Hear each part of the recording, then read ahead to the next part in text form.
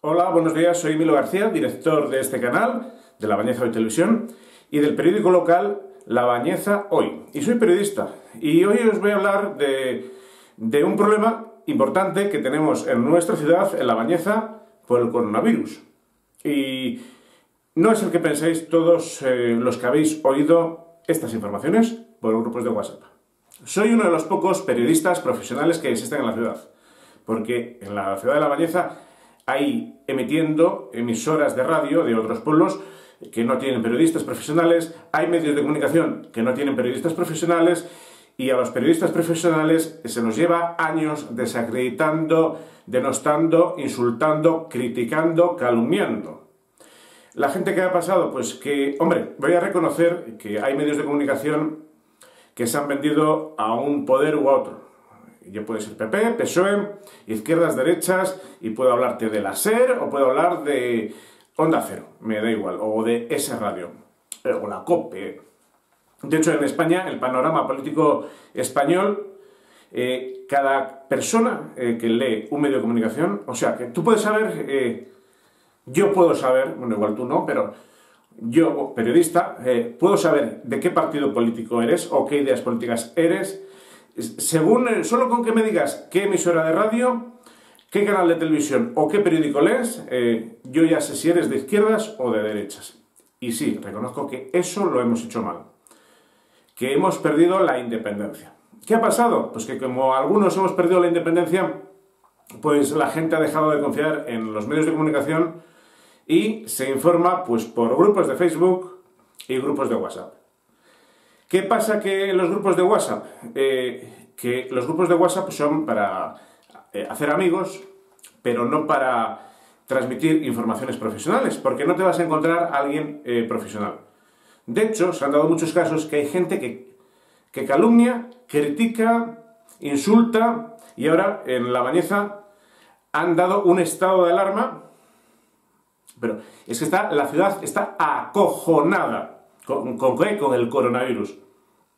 Os voy a poner dos audios que me han llegado a mí de los grupos de WhatsApp.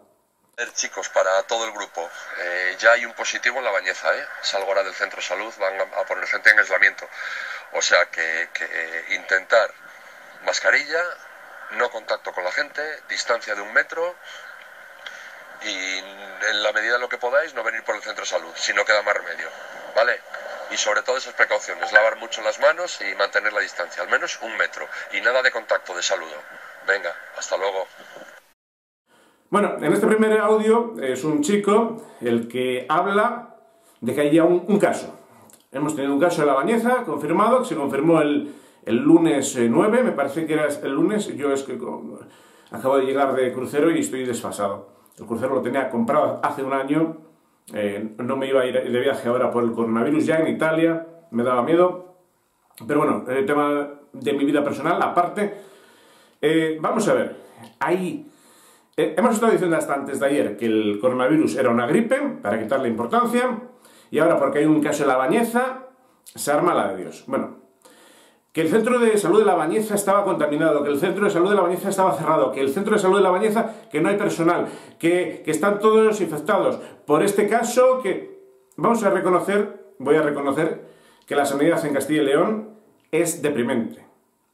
Es patética y tercermundista. De hecho, yo no es que sea inteligente, que bueno, igual algo lo soy. Eh, el periódico mío local está basado en un periódico que se llama El Correo Español, El Pueblo Vasco, del Grupo Vocento.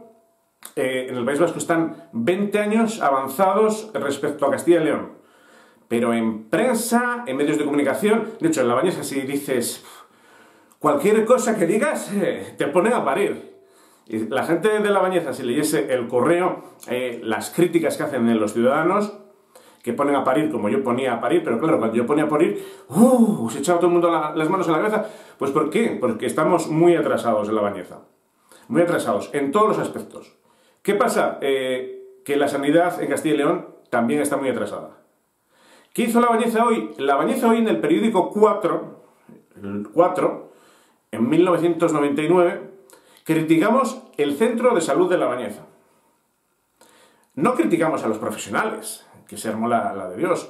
que por cierto nos contestaron y nos mandaron una carta de réplica. Criticamos el, el sistema sanitario de Castilla y León. ¿Pues por qué? Pues porque justamente yo he sido sanitario, yo he sido personal sanitario, yo he, sido, yo he estado en, en, la en una UV móvil van, cuando aquí en La Bañeza no existía eso, cuando yo llegué no, no habían visto una UV móvil en, su vida. Y yo ya había estado eh, trabajando, eh, compatibilizando con la universidad, en una UBI móvil en el País Vasco. En la UBI móvil hay tres personas. Un médico o médica, eh, un socorrista, enfermero, eh, camillero, que era mi caso, yo camillero, socorrista, tenías que tener por lo menos el título de, socorrista. No llevabas solo la camilla, atendías y ayudabas al médico. Y el conductor. En, bueno, pues esto eh, no existía en Castilla y León. Nos tardaron en poner las UBIs móviles. Bueno, hice dos vídeos criticando a la situación que los tenéis por aquí, por el canal, si los queréis ver. Vamos a lo que vamos. Cierto, el Centro de Salud de La Bañeza presenta muchas necesidades y la sanidad en Castilla y León presenta muchas carencias. Lo he criticado yo y por criticarlo soy malo. Por criticarlo la Junta de Castilla y León pues me cerró la publicidad institucional y la Diputación y todos los organismos pues del mismo partido me cerraron el grifo. ¿Por qué critiqué yo la sanidad en Castilla y León? Pues porque mirad, eh, Ahora, cuando ha llegado lo del coronavirus, está como está. Que necesitan mascarillas. No tienen. Y andan pidiendo a los ciudadanos y a todo el mundo que les done cosas. Bueno, quitando que esto es cierto, eh, lo que no creo que sea cierto es la situación que narra este audio. Que puede estar mal, pero. Eh, ¿Quién hace este audio? ¿En qué se basa? ¿Por qué? Porque claro, cuando critico yo algo en un vídeo, yo doy la cara, ¿me veis? Sabéis todos quién soy yo y me critiquéis y me insultáis. Cuando salgo yo en Facebook, yo doy la cara. Todo el mundo sabe quién soy y me critica y me insulta. Pero cuando alguien manda un audio por un grupo de WhatsApp, no sabéis quién es esa persona, ni qué título tiene, ni si es sanitario, si es médico, si es experto. Ha habido gente que se ha hecho pasar por oncólogo ha habido gente que ha lanzado, yo no sé para qué lanzan falsos bulos, pues no sé, pues eh, porque tienen ganas de ser famosos y de que, uy, le retuiteen su audio a no sé cuántas miles de personas. Y les da igual eh, preocupar a la gente, les da igual alarmarla, les da igual ocasionar un problema. Bueno, hemos tenido youtubers que hacían pues, eh, caranchoa y cosas peores, gente que se lanza de sitios o que hacen bromas absurdas la gente está muy mal eh, por conseguir likes o me gustas en redes sociales. A mí me da igual que le guste yo a alguien o le deje de gustar. Yo digo la verdad y doy la cara para decir la verdad. Y si a ti no te gusta la verdad, pues me puedes criticar. Sin embargo, ojo, cuando te llega un audio como estos, y es que además la gente ha conseguido, desacreditando a los medios de comunicación, que los periodistas mi periódico eh, lanzaba esta semana cuatro páginas, un especial de cuatro páginas sobre el coronavirus en la bañeza. Contábamos toda la situación, todo lo que ha pasado en los audios, todo lo que ha pasado en WhatsApp, cómo empezó todo el caso. Y luego hemos intentado pues dar eh, tranquilidad y mandar mensajes, comunicaciones oficiales, comunicaciones oficiales. Que la gente no se las cree. La gente no cree al alcalde ni a los medios de comunicación. Pues ¿por qué? Porque estaban o están vendidos.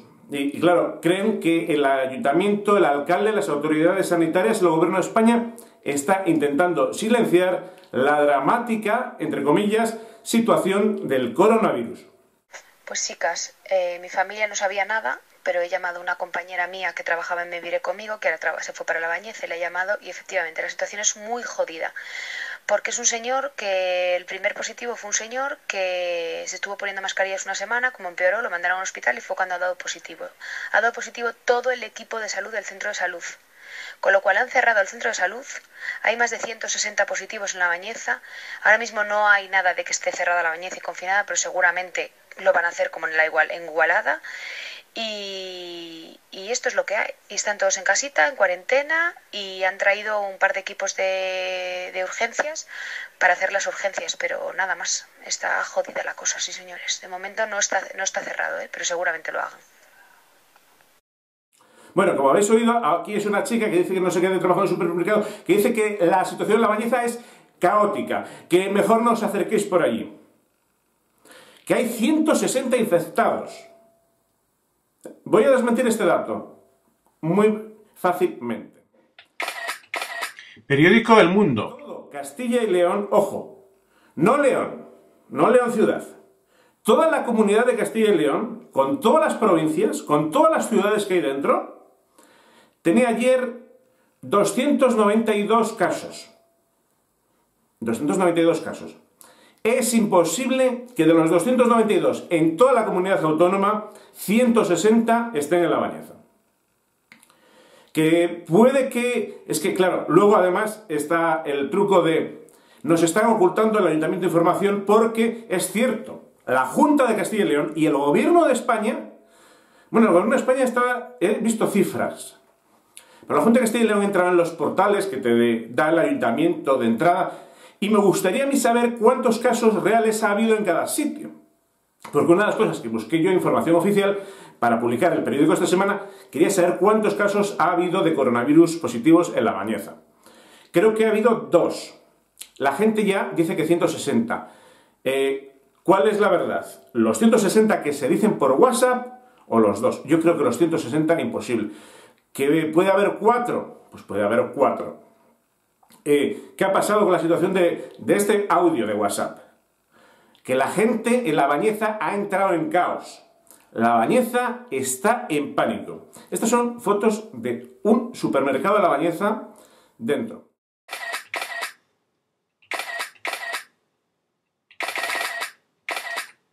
Han arrasado con las existencias en las estanterías. Aunque no hay desabastecimiento porque han repuesto. Pero la gente, el primer día me decían eh, ciudadanos de La Bañeza, amigos míos, eh, tengo muchos amigos y, y me logré comunicar con ellos a través de WhatsApp, que era caos. La gente agotó las mascarillas, agotó el gel de manos, agotó el alcohol, agotó los pañales y el papel higiénico. Hay un rumor, hay un bulo en Facebook, hay un tutorial que dice cómo, es, eh, cómo hacer mascarillas con papel higiénico puede que esto explique por qué se agota el papel higiénico, porque no creo que caguemos tanto todos. A mí un pack de seis rollos me dura un año.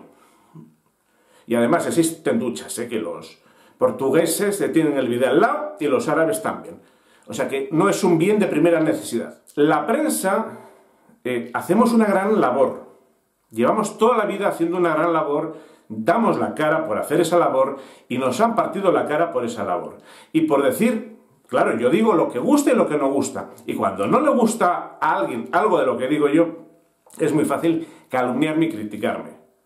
Bueno, y estoy hablando de mí, pero hablo de todos los medios de comunicación. Que si el Ferreras es no sé qué, que es rojo, que si el otro es facha, que si los santos es no sé qué. Y todos los medios de comunicación y todos los comunicadores somos criticados. Pero las noticias de los medios de comunicación pasan filtros. Los profesionales, que en la bañeza hay muchos medios de comunicación que no tienen profesional ninguno, estamos cinco años formándonos, estudiando derecho, estudiando cómo contrastar una noticia y las noticias, por muy mal que las demos, porque yo no tengo muchos medios, ¿por qué? Porque no tengo medios, porque no tengo publicidad. Si hubiese tenido yo publicidad institucional, esquelas, publicidad de todos los negocios de la ciudad, tendría muchos más medios para trabajar y hacer las cosas mejor. Aún así, toda la información que damos está contrastada. Y si hablo de rumores, digo, hay estos rumores y luego digo, hay esta fuente oficial. Y el ayuntamiento dice esto y los ciudadanos dicen esto y doy las dos versiones. Pero sin embargo, soy malo. Porque cuando oyes algo que no te gusta, no te agrada, porque cuando critiqué la pederastia de la iglesia, yo era malo, yo era Satanás y el demonio. Cuando he criticado el bullying y el maltrato, yo soy malo. La gente que hace bullying es buena. Cuando he criticado la corrupción, yo soy malo. Claro, si critico la corrupción del PSOE, soy malo para los del PSOE. Si critico la corrupción del PP, soy malo para los del PP.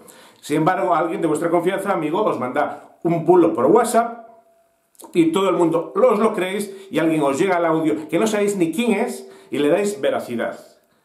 ¿Y qué? Pues corre la alarma. corre la alarma y estamos en estados de caos y acojonados.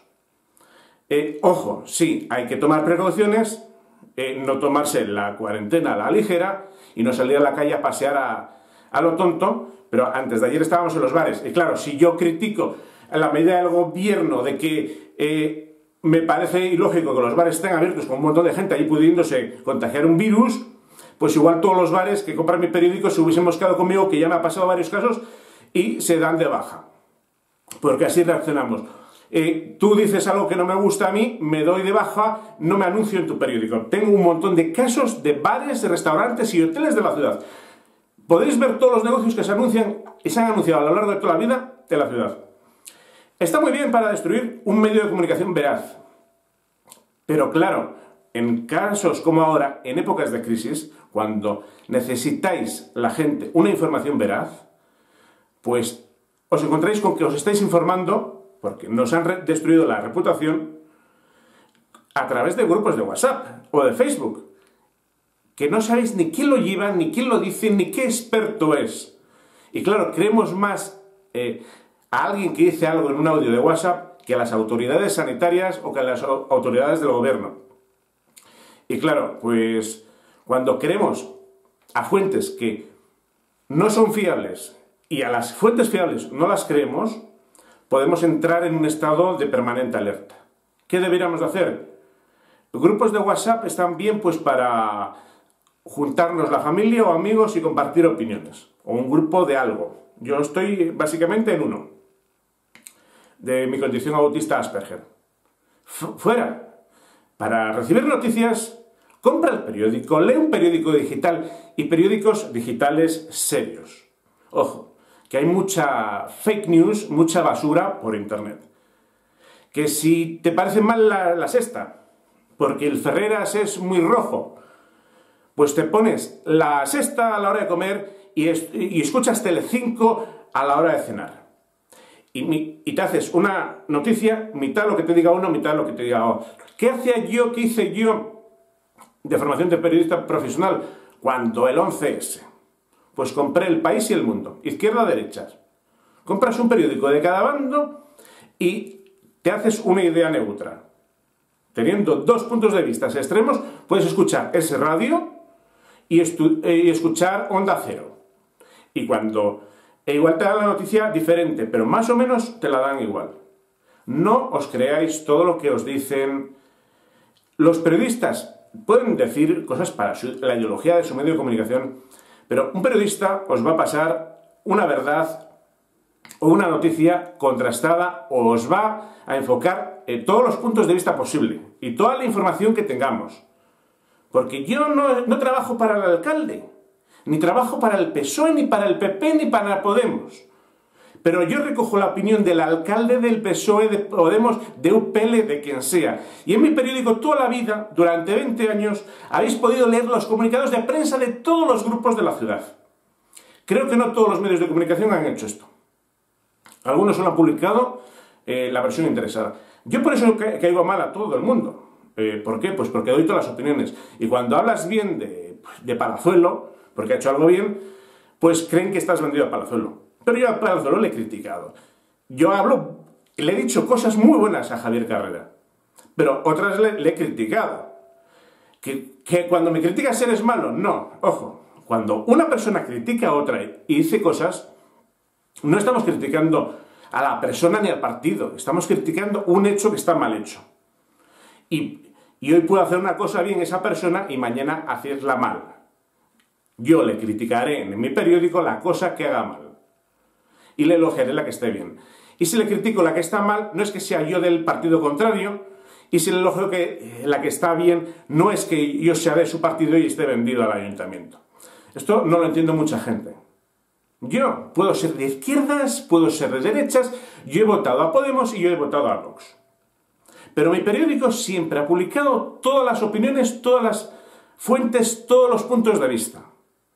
Cualquier persona que ha querido comentar algo, lo ha hecho. No le hemos cerrado eh, páginas, ni fronteras, ni nada. ¿Qué significa? Plural e independiente. Información veraz y contrastada. Por cierto, la próxima semana vamos a hacer un periódico especial eh, con fuentes del Ministerio pues, sobre el coronavirus. Si queréis eh, tomar medidas, protegeros en casa y cuidaros y, y saber todo de esta pandemia, pues leednos. Y si queréis no estar informados, pues seguir oyendo grupos de WhatsApp. Muy buenos días.